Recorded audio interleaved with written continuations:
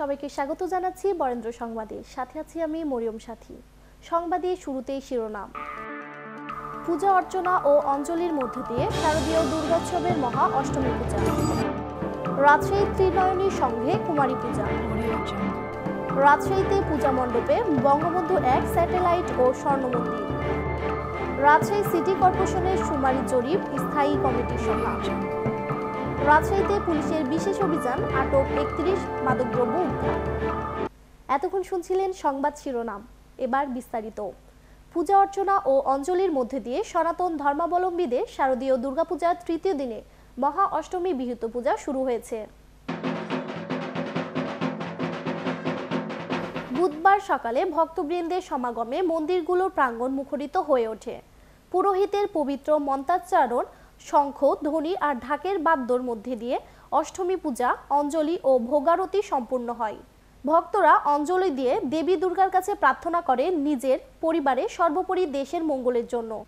পরে ভক্তদের মধ্যে প্রসাদ বিতরণ করা হয়। দুপুরে সন্ধি পূজা ও সন্ধ্যায় আরতি সহ বিভিন্ন ধর্মীয় আচার অনুষ্ঠানের মাধ্যমে তৃতীয় দিনে অষ্টমী পূজা সম্পূর্ণ হয়েছে। এদিকে নাটোরের মন্দিরগুলোও নানা রঙে সেজেছে। দূর দূরান্ত থেকে মানুষ আসছে প্রতিমা দেখতে। রাজশাহী ত্রিনয়নী সঙ্গে কুমারী পূজা অনুষ্ঠিত হয়েছে বুধবার সকাল এগারোটা পঁয়তাল্লিশ মিনিটে। এ দুর্গাপূজার মহাষ্টমী পূজার শেষে কুমারী পূজা অনুষ্ঠিত হয়।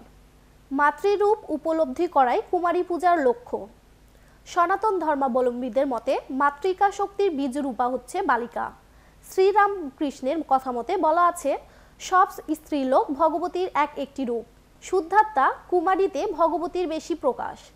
জানা যায়, উনিশশো এক সালে ভারতীয় দার্শনিক ও ধর্মপ্রচারক স্বামী বিবেকানন্দ সর্বপ্রথম কলকাতার বেলুর মঠে নয়জন কুমারীকে পূজার মাধ্যমে এর পূর্ণ প্রচলন করেন। তখন তিনি প্রতিবছর দুর্গাপূজার অষ্টমী তিথিতে এ পূজা চলে আসছে। সকালে নির্দিষ্ট কুমারীকে স্নান করিয়ে নতুন কাপড় পরানো হয়। ফুলের মালা, চন্দন ও নানা অলংকার প্রসাধন উপাচারে নিপুণ সাজে সাজানো হবে কুমারীকে। পুণ্যার্থীরা কুমারী মায়ের সামনে প্রার্থনায় সমবেত হন এবং প্রার্থনা করেন।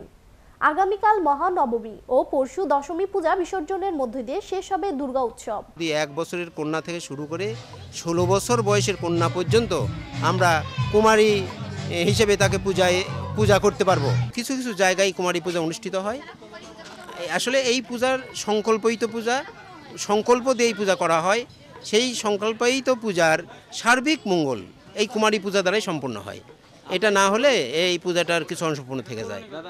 এবারে রাজশাহীতে পূজা মণ্ডপ, বঙ্গবন্ধু স্যাটেলাইট ও ভারতের ভেলোর স্বর্ণ মন্দিরের আদলে নির্মিত হয়েছে মণ্ডপ। বোধনের মধ্য দিয়ে শুরু হয় শারদীয় দুর্গাপূজা। এরপর সোমবার ষষ্ঠী পূজার মধ্য দিয়ে আনুষ্ঠানিকভাবে সনাতন ধর্মাবলম্বীদের সবচেয়ে বড় ধর্মীয় উৎসব দুর্গাপূজার বাজনা বাজতে থাকে পুরোদমে। মণ্ডপে মণ্ডপে তিথির সাথে সাথে চলতে থাকে ঢাকঢোলে সুর, তরঙ্গ ও পূজার অর্চনা। দশমী পূজার শেষে দেবী বিসর্জনের মধ্য দিয়ে ইতি টানে এই মহোৎসবের। রাজশাহী জেলায় চারশো সাতান্নটি মণ্ডপে পূজা অনুষ্ঠিত হচ্ছে। এর মধ্যে মহানগরীর বারোটি থানার অধীনে প্রায় আশিটি পূজা মণ্ডপে ঘটা করে উদযাপিত হচ্ছে এই মহোৎসব। এবারেও পূজা মণ্ডপে নতুনত্ব নগরীর রানীবাজার মোড়ে টাইগার সংঘের মণ্ডপ ও স্বর্ণ মন্দির কয়েক বছর থেকে নগরীর সবার কাছে এই মণ্ডপ দুটি আলাদা গুরুত্ব রয়েছে। প্রতিবারই বিশেষ কিছু করার সুনাম রয়েছে এই মণ্ডপগুলির। এর আগে বাহুবলী বাঘের বিশাল বড় মস্তক আকৃতির পূজা মণ্ডপ তৈরি করে মণ্ডপ ক্যাটাগরিতে জেলায় বিজয়ী হয়েছে। ফলে প্রতি বছরই নগরবাসী উৎসুক হয়ে থাকে নতুন কি নিয়ে আসছেন টাইগার সঙ্গের মণ্ডপ সাজতে। যারা টেলিভিশনে বঙ্গবন্ধু স্যাটেলাইট উৎক্ষেপণ দেখতে পারেননি, তাদের সেই অপূর্ণ ইচ্ছেটা হয়তো এখানে পূরণ হতে পারে। হ্যাঁ বাঙালি জাতির অনন্য অর্জন বঙ্গবন্ধু স্যাটেলাইট একের প্রতিচ্ছবিতে মণ্ডপ আর স্বর্ণ মন্দির নির্মিত হয়েছে ভারতের ভেলোরের স্বর্ণ মন্দিরের আদলে। দেখলে মনে হবে যেন সোনা দিয়ে মুড়ে দিয়েছে পুরা মন্দিরটি। রাজশাহী সিটি কর্পোরেশনের সুমারি জরিপ স্থায়ী কমিটির সভা অনুষ্ঠিত হয়েছে। নগর ভবন শরীদ দত্তগুপ্তা সভাকক্ষে আয়োজিত সভায় সভাপতিত্ব করেন রাজশাহী সিটি কর্পোরেশনের mayor A H M Khairuzzaman Liton. পরিকল্পনা মন্ত্রণালয়ের পরিসংখ্যান ও তথ্য ব্যবস্থাপনা বিভাগের অধীন বাংলাদেশ পরিসংখ্যান ব্যুরো, বিবিএস, কর্তৃক পরিচালিত জাতীয় থানা তথ্য ভাণ্ডার সুমারির মাঠ পর্যায়ে মূল তথ্য সংগ্রহ কার্যক্রম বাস্তবায়নের লক্ষ্যে এ সভা অনুষ্ঠিত হয়। মেয়র বলেন, সরকারের সামাজিক সুরক্ষার বলয়ে সহায়তা করে পরিসংখ্যান বিভাগের এ তথ্য তথ্যভাণ্ডার গুরুত্বপূর্ণ ভূমিকা রাখবে। মুক্তিযোদ্ধা ভাতা, বয়স্ক ভাতা, প্রতিবন্ধী ভাতা, বিধবা ভাতা মাতৃকালীন ভাতা সহ সরকারের সকল ভাতা প্রদানের ক্ষেত্রে এ তথ্য ভাণ্ডার গুরুত্বপূর্ণ ভূমিকা রাখবে বলে তিনি আশা করেন। বাংলাদেশ পরিসংখ্যান ব্যুরোর ন্যাশনাল হাউসহোল্ড ডাটাবেস প্রকল্পের উদ্যোগে দেশের সকল খানার আর্থসামাজিক ও জনমিতিক তথ্য সংগ্রহ করে একটি জাতীয় তথ্য ভাণ্ডার তৈরি করা হবে।